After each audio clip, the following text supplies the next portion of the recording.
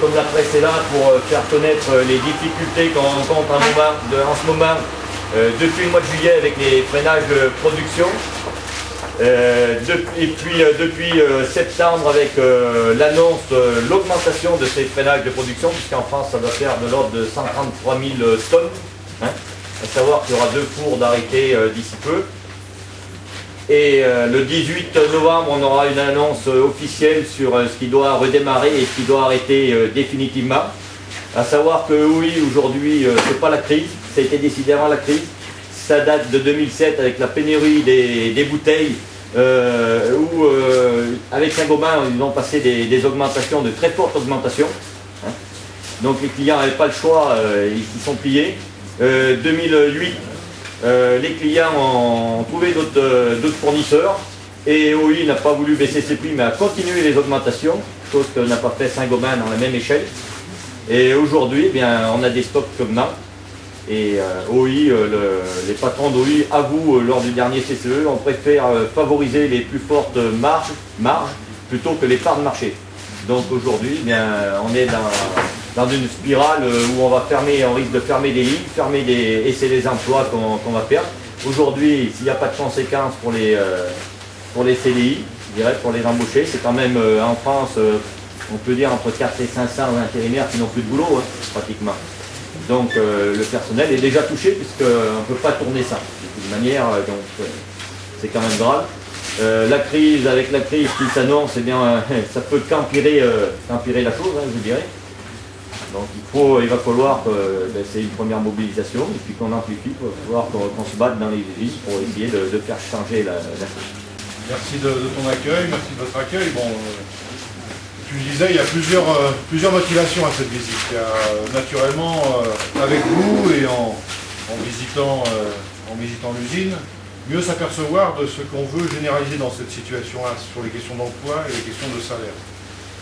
Bon, le, contexte général, vous le connaissez, mais ce qui est inacceptable, c'est qu'il y a bon nombre d'entreprises qui veulent profiter de cette période dite de crise pour justifier des restructurations, des suppressions d'activités, y compris dans celles qui dégagent des marges financières positives. Et on disait en arrivant que c'était le cas ici. Hier j'étais à Toulouse, c'était une autre boîte. Dans l'automobile, cette fois-ci, c'est pareil. Euh, Avant-hier, j'étais à Bordeaux. Euh, là aussi, j'ai rencontré des entreprises, c'est pareil. Donc là, on est vraiment dans une séquence où on ne peut pas accepter de s'entendre dire, au motif de la crise, que tout euh, est justifiable d'un point de vue des restructurations et des suppressions d'emplois. D'autant plus qu'il y a eu des déclarations fracassantes euh, de la part du gouvernement, du président de la République, qui, vous le savez, a euh, élaboré un plan pour la sauvegarde des banques, un plan pour la sauvegarde des entreprises, mais pour ce qui est du troisième plan de protection des salariés, d'un côté c'est 400 milliards d'euros pour les banques et les entreprises, les salariés c'est zéro. Le discours de mardi c'est zéro. Et on ne peut pas voir les emplois, notamment le secteur industriel, disparaître à l'échelle où on veut nous les faire disparaître en ce moment. Ce matin, avec d'autres copains, je rappelais qu'en France, un cinquième des emplois est lié à l'activité industrielle. Un cinquième des emplois est lié à l'activité industrielle. Soit des emplois directs, soit les emplois qui sont induits par l'activité industrielle, autour euh, des emplois qui sont générés par l'activité industrielle. Donc ce qui se passe dans le secteur industriel en France est vraiment structurant sur toute la situation de l'emploi du tissu économique plus, national. On ne peut pas faire du commerce, on ne peut pas vendre s'il n'y a pas euh, le, le poumon de l'activité nationale qui est en mauvaise, euh, en mauvaise santé. Alors c'est une visite donc qui permet de mieux se rendre compte des scandales qui peuvent être euh, décidés sur des outils de production qui ne sont pas dépassés, qui dégagent des marges bénéficiaires, mais où le vrai sujet en ce moment, c'est de savoir est-ce qu'on continue à valoriser les actionnaires et le capital, ou est-ce qu'enfin, on convient qu'à l'image de la crise, c'est le travail qui valorisé, c'est les salariés qui, qui font la richesse de l'entreprise, qui sont euh, considérés comme prioritaires. Et là, on est dans une séquence, c'est ça qui se joue en ce moment. La CGT a proposé cette semaine à tous les autres syndicats d'avoir une réunion en vue d'organiser une mobilisation nationale, interprofessionnelle, sur les questions d'emploi et de pouvoir d'achat, euh, et pourquoi pas d'ici la fin du mois de novembre. Et puis la deuxième motivation, vous la connaissez aussi, c'est le rendez-vous des élections prud'homales, parce que dans ce contexte-là, naturellement, cette élection, c'est pas simplement une élection des juges au Conseil de prud'homme. comme c'est la seule élection de caractère syndical qui intéresse tous les salariés, qu'on soit dans une petite boîte ou une grosse boîte, il y a, malheureusement, vous, avez les élections professionnelles, c'est une bonne chose, mais il y, a, plein de boîtes où il n'y a pas d'élection professionnelle, il n'y a pas de délégué personnel, il n'y a pas de comité d'entreprise.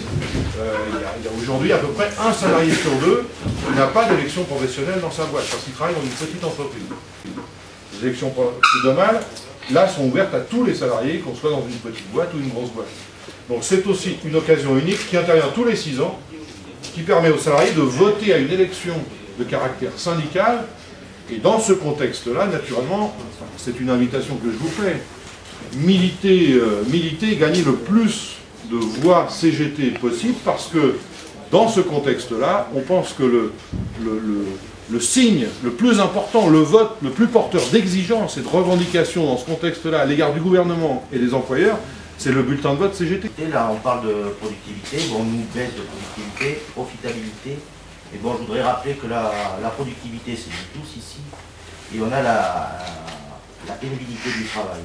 Horaire, chaleur, auquel euh, le bruit, auquel s'est rajouté depuis quelque temps le stress, puisqu'on est poussé, euh, le stress, euh, parce qu'ils veulent leur profitabilité, et puis c'est nous. Quoi.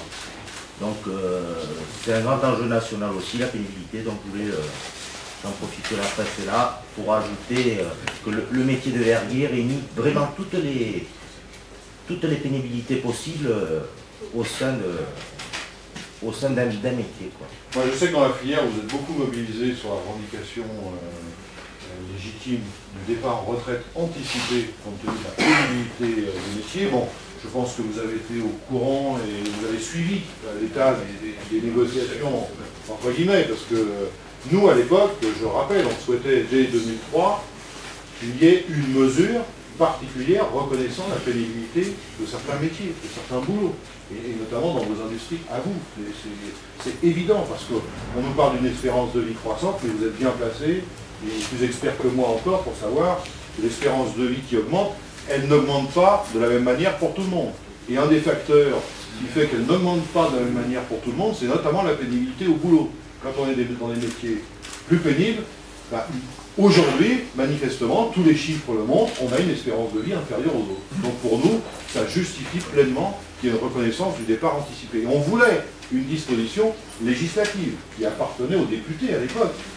Malheureusement, ça nous a été refusé, puis en plus, on nous a collé la réforme que vous connaissez sur la retraite euh, de 2003, qu'on a combattue. Donc non seulement on n'a pas été entendu sur euh, cette mesure spécifique, mais en plus on a aggravé les conditions de départ en retraite, je ne développe pas là-dessus, à moins que vous le souhaitiez, mais vous connaissez les dispositions qui ont été adoptées. Et on nous a renvoyé sur une négociation avec le patronat, et le patronat, naturellement, il a traîné, il a traîné les pieds, ça fait plus de trois ans qu'on discute, il y a eu 18, je crois que c'est 18, 18 hein, séances de discussion, et puis voilà, euh, il est arrivé euh, ce qui devait arriver, on arrive à la fin, constate des accords, parce que qu'est-ce que le patronat nous, nous dit? Bon, la pénibilité, Bon, on veut bien admettre, on veut bien admettre que dans certains secteurs, il y a des métiers pénibles. Bon, d'accord. Mais alors, la condition pour qu'on reconnaisse que les gens travaillent dans des postes pénibles, c'est une visite médicale. Autrement dit, si à l'occasion d'une visite médicale, on s'aperçoit que le gars il a déjà un pied dans la tombe, là on veut bien accepter d'envisager qu'il puisse partir en retraite parce qu'il n'en a plus pour longtemps.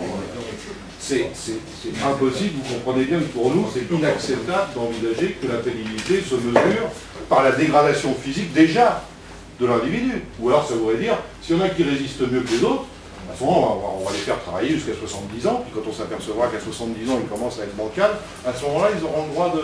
Donc c'est absolument impossible. Et l'autre aspect, l'autre point de désaccord, on veut bien reconnaître qu'il y a des boulots pénibles, mais s'il doit y avoir des avantages particuliers, ce n'est pas aux entreprises de payer, c'est à la collectivité nationale. Qui dit la collectivité nationale, c'est-à-dire les autres salariés, dans le cadre de la solidarité. Autrement dit, s'il y a pénibilité, ce n'est pas de la faute des employeurs, ce n'est pas de la faute de l'aménagement des postes de travail ou des cadences de travail ou des contraintes liées à la production, euh, ça, ça doit relever de la solidarité nationale. Nous, on pense que ce n'est pas aux autres salariés de payer les, pas les avantages, mais la reconnaissance d'une pénibilité de certains métiers qui sont complètement liés au processus de production. voilà les, raisons de l'échec. Mais on fait quoi pour, euh, pour arriver à éradiquer justement des situations où on en vient là?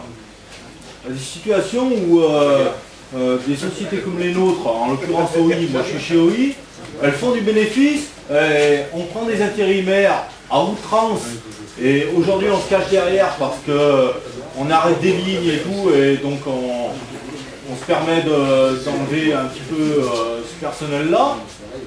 Mais finalement on fait quoi? C'est un constat qu'on vient de faire. La bagarre. Mais on fait quoi pour... ah mais d'accord, on va à la lutte.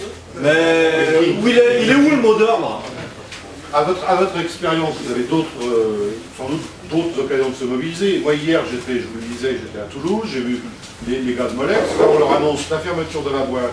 Ils dégagent plus, d'un million d'euros de bénéfices par an. 300 emplois sur le carreau.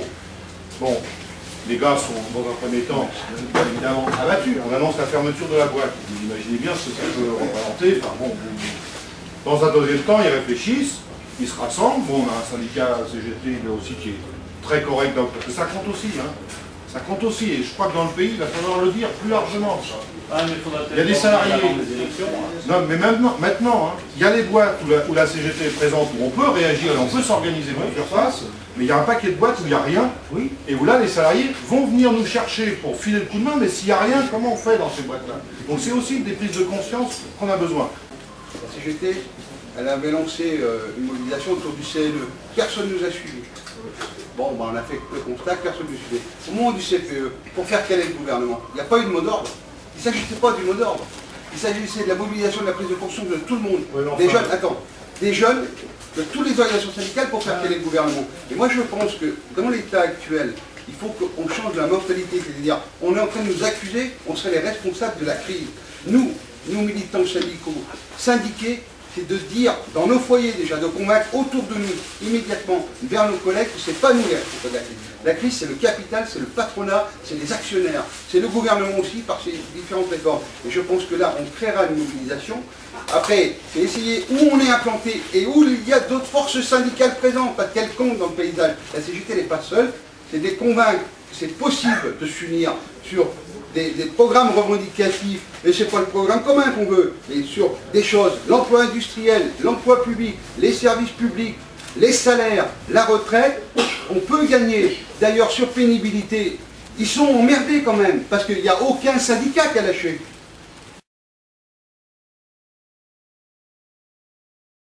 dans ce bassin, le bassin Tiernois, qui a perdu plus de 33% de ses emplois industriels en 10 ans, de 95 à 2005, qui est confronté à la RGPP et au budget 2009. La RGPP, ça prévoit 100 000 fonctionnaires moins sur 3 ans.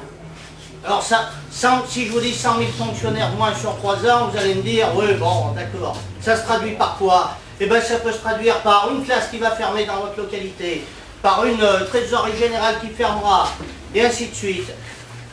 Face à tous ces problèmes qu'on connaît sur le bassin qui est sinistré au niveau de l'emploi industriel, on connaît les difficultés qu'on a chez DAPTA à l'heure actuelle, on connaît les difficultés qu'on a dans certaines boîtes qui déposent le bilan, eh bien, on ne peut pas tolérer, au jour d'aujourd'hui, que des boîtes qui sont saines financièrement fassent le sacrifice d'emploi sur l'autel du profit. Ça, c'est intolérable. Alors vite fait, moi je suis très très heureux d'avoir reçu euh, bah, les copains verriers de toute la France. En tant que secrétaire duel, ça me fait très plaisir. Je suis très très heureux d'avoir reçu euh, Bernard. Et euh, je tiens à lui remettre, au nom de Buell et des verriers, le traditionnel couteau, le tiers, estampillé CGT. Merci grave.